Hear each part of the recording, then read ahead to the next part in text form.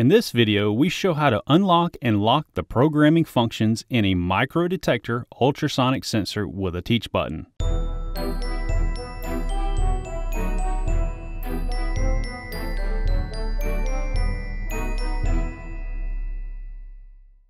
We are using one of our UK series of sensors in this video. If the sensor is new, it should be unlocked.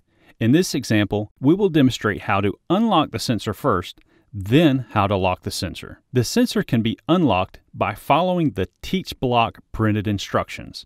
In order to unlock the sensor so that parameters can be changed, press and hold the teach button for 12 seconds. At 8 seconds, the sensor yellow LEDs start blinking for configuration setup. Continue to hold the button for 4 more seconds until the LEDs blink more rapid. Now release the button and the yellow LEDs will blink slower, then stop to confirm the change.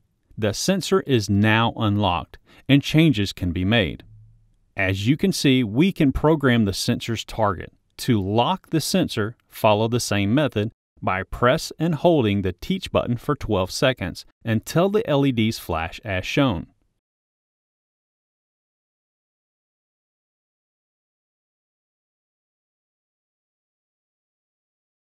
Now, we are unable to make changes to the sensor setup.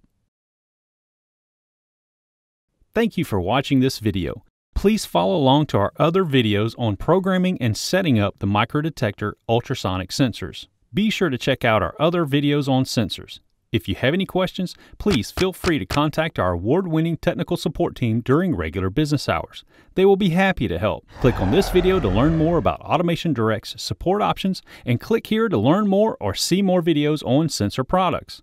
Be sure to click here to subscribe to our YouTube channel to be notified of new videos. Don't forget to hit the like button below.